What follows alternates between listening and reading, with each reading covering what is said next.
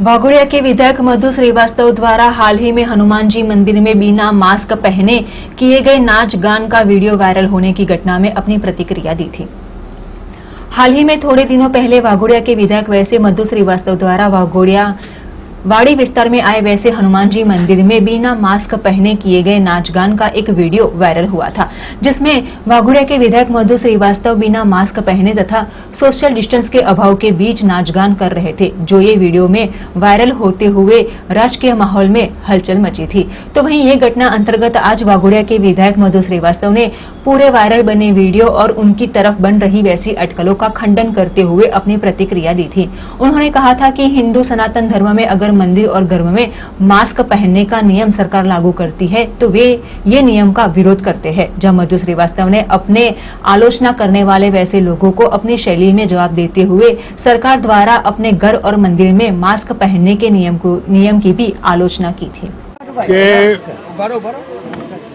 વડોદરા શહેરમાં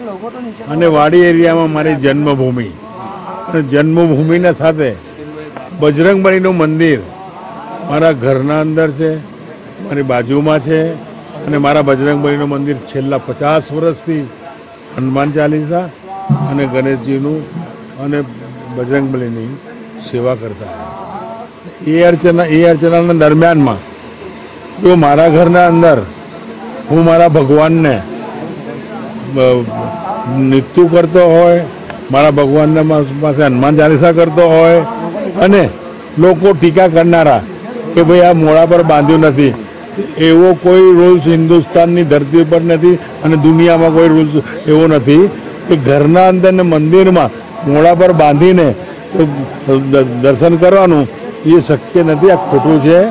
અને જે બી સરકારે અમલ કરે છે એનામાં બી હું વિરોધી છું અને વિરોધી રહેવાનો છું. તો ધર્મના કામના અંદર ને સનાતન ધર્મના અંદર તો આવું અંકુશ લગાવવાના પ્રયાસ કરતા હશે તો ભગવાન કોઈને માફ નહીં કરે.